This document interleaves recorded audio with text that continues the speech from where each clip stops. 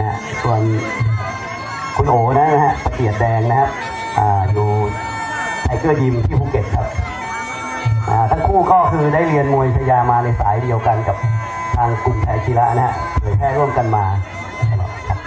ที่เห็นนี่เป็นการถวายบังคมต่อองค์พระมหากษัตริย์นะครับในยุคโบราณนั้นการตีมวยแบบนี้ตีหน้าพระที่นั่งเท่านั้นนะครับ ที่เหลือจะเป็นการละเล่นชกต่อยกันเองนะทั่วไป หรือไม่งั้นก็คือจะมีงานสมโพธิที่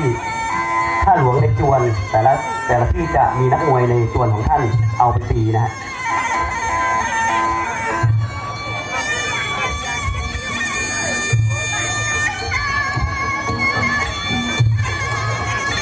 เมื่อนักมวยอ่าคารวะถวายบุคคลต่อองค์พระมหากษัตริย์เสร็จเรียบร้อยแล้วนะ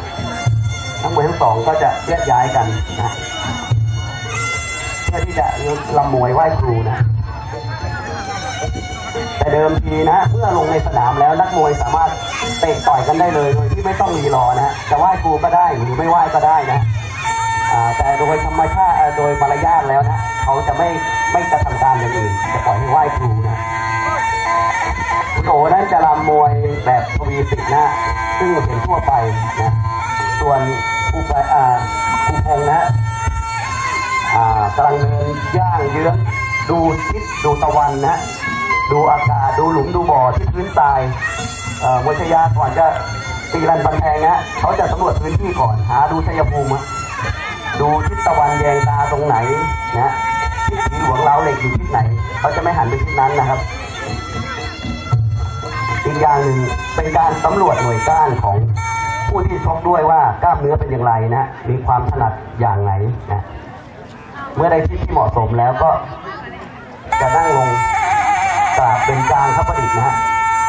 เอาสองศอกสองหน้าผากหนึ่งนะฮะเป็นการไหว้ครูอย่างโบราณนะ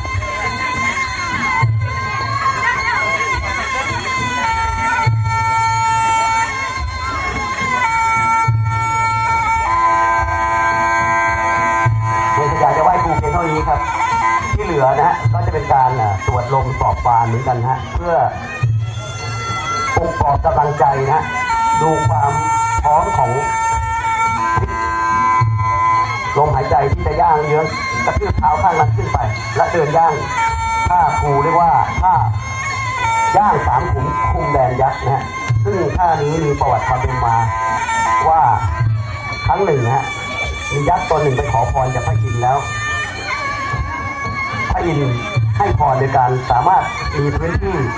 สามหมื่นโยชน์นะฮะเชิงเขาหิมพานต์ยักษ์ตัวนี้สามารถจับกินมนุษย์เทวดา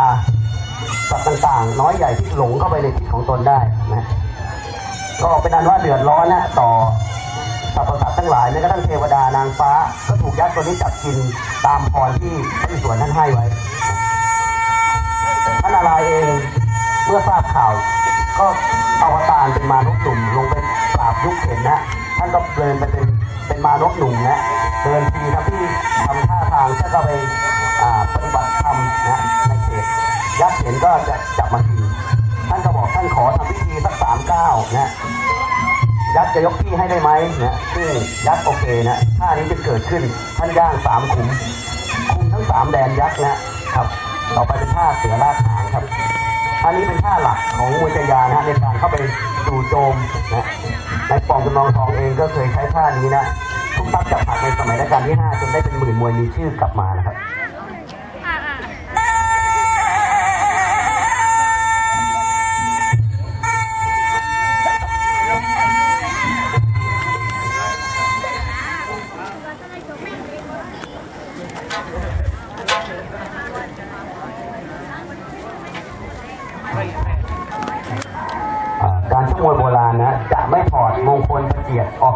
ศีรษะนะเพราะถือว่า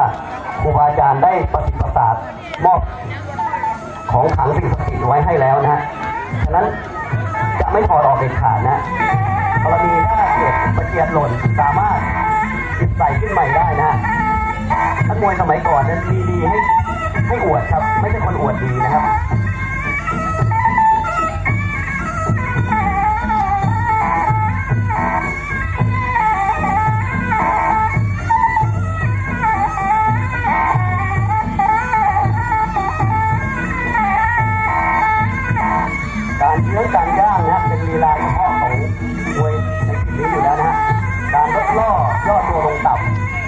再来。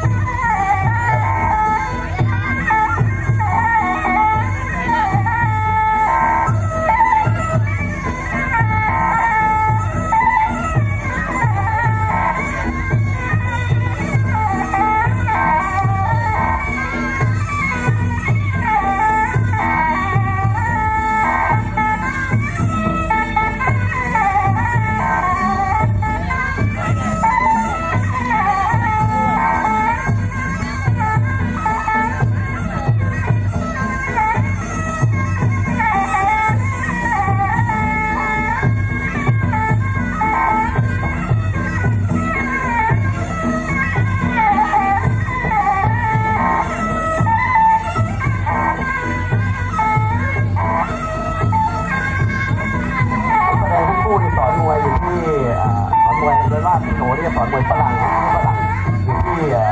ไทเกอร์ยิมนะส่วนครูพงเนี่ยจะสอนมวยให้ฝรั่งมันจะอยู่ที่สโมสรปานะมวยชายาเองเป็นลักษณะของมวยปั้มจับหักนะพึ่งทับจับหักนะการเตะต่อยเป็นส่วนหนึ่งของการเข้าไปจู่โจมเพื่อการจับกลุ่มเป็นหลักนะการล็อกการพุ่มนะจะอยู่ในรูปแบบการใช้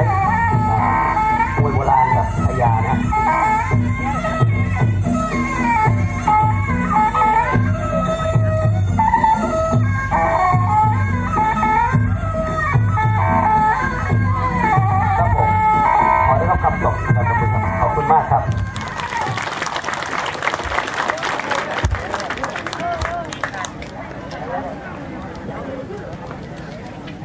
ครับขอขอได้ความขอบคุณนะครับทางกลุ่มไทยอาชิระของเรา